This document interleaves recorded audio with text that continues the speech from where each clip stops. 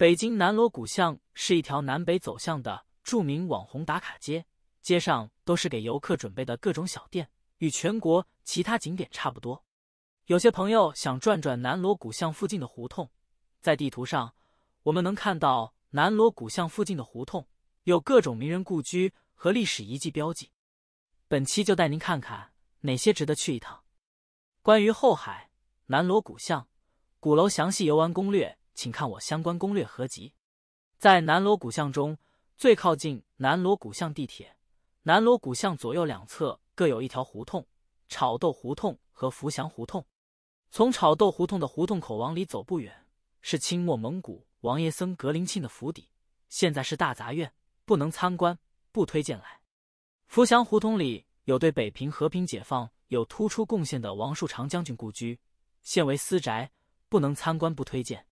继续往南锣鼓巷里走，左手边出现雨儿胡同，胡同口有个非遗博物馆，里面不许拍摄，有两三个摊位，只有一楼一层，非常小。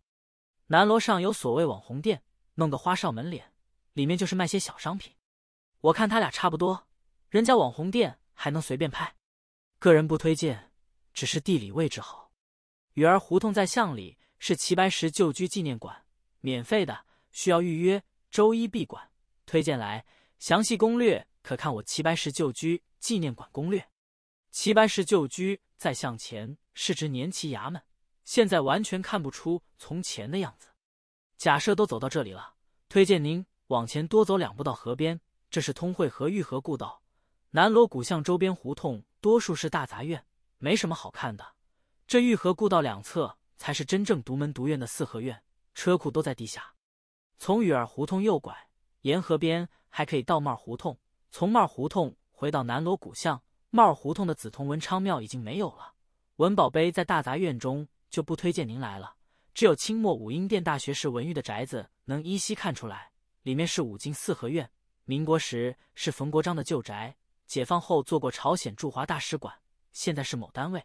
他家的后花园叫可园，是晚清北京私家园林中最有艺术价值的花园。